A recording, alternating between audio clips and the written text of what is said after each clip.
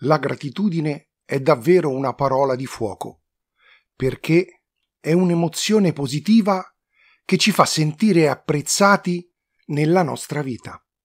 Si concentra sull'apprezzamento delle persone, delle cose e delle esperienze che ci circondano, anziché sul desiderio di ciò che non abbiamo o su ciò che potrebbe mancare nella nostra vita.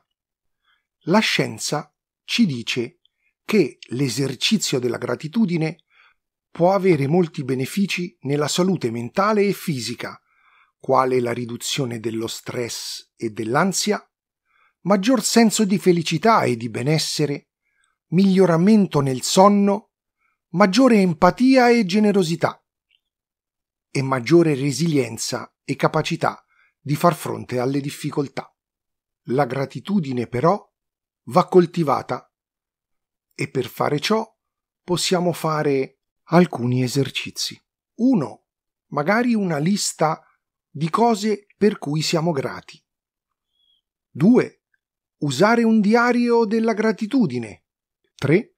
Fare un esercizio di gratitudine prima di dormire. 4. Esprimere la gratitudine alle persone importanti della nostra vita.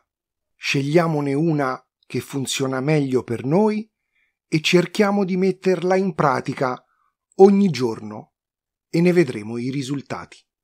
E se ora noi cerchiamo di analizzare la gratitudine secondo le sacre scritture, scopriremo che è un elemento cruciale nella vita di Gesù.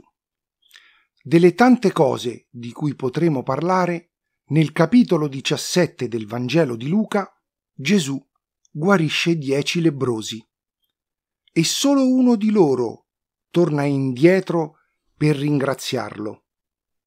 Ma Gesù osservò Non sono stati guariti tutti e dieci? Gli altri nove dove sono? Non si è trovato chi tornasse indietro a render gloria a Dio all'infuori di questo straniero? Egli disse, Alzati e va, la tua fede ti ha salvato. Quindi il rendimento di grazie unito alla fede, secondo Gesù, non solo permette di guarire, ma salva.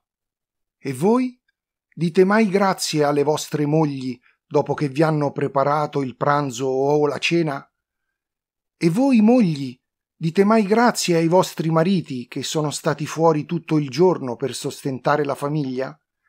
E voi bambini o ragazzi, dite mai grazie a papà e mamma? Questo può essere un buon esercizio per coltivare la gratitudine. Vi ricordo, se vi è piaciuto il video, di attivare la campanella, lasciare un mi piace e mettere i vostri commenti.